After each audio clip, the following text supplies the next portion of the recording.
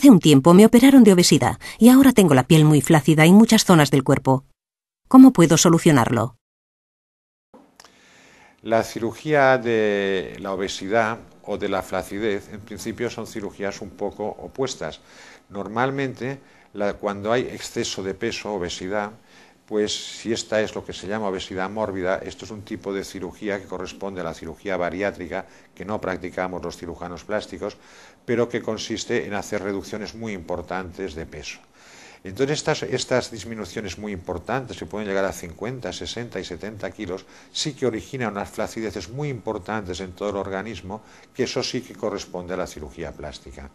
Entonces aquí cogemos todo tipo de flacideces desde la cabeza hasta los pies, digamos, es decir, desde la flacidez de la cara, el cuello, etcétera, que requiere liftings, pasando por la cirugía mamaria, que, hay una gran flacidez que, requiere lo que nosotros llamamos mastopexias, mastopexias que es elevar y tensar la mama caída hacia, hacia, arriba.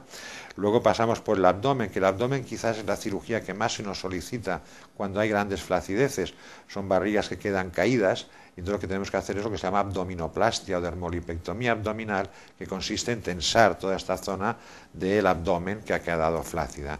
Siguiendo el cuerpo, pues podríamos ir hacia abajo, que estaríamos en la parte interna de los muslos, lugar muy frecuente de flacideces importantes, pues que requieren lo que llamamos meloplastia crural, es decir, estirar, es como hacer un lifting de la parte interna del muslo hacia arriba, intentando esconder toda la cicatrización en la misma ingle y siguiendo hacia el surco glúteo que se llama.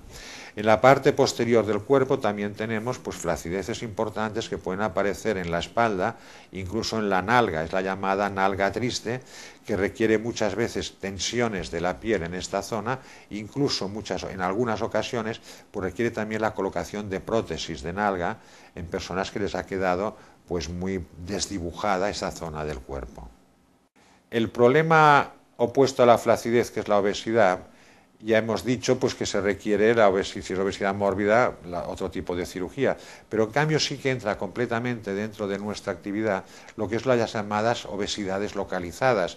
Esas tan frecuentes pues, que molestan en el abdomen, esa tener exceso de barriguita, o la persona que tiene en los muslos, lo que se llaman cartucheras, etcétera, o en cualquier parte del cuerpo. Entonces eso sí que es una faceta que entra dentro de la cirugía plástica que realizamos nosotros y que consiste en las liposucciones pues de estas determinadas zonas. Liposucciones que, como se saben, pueden ser muy amplias, pueden ser muy concretas. Hay personas que solamente necesitan un poco el interior de la rodilla, por ejemplo, o hay personas que requieren liposucciones más masivas, que pueden requerir pues, el abdomen, los costados, los glúteos, etcétera. O sea que la liposucción puede ser también cirugía muy pequeña, ambulatoria, a cirugía más amplia, pues que requiera un ingreso según la cantidad de zona excesivamente adiposa que debamos solucionar.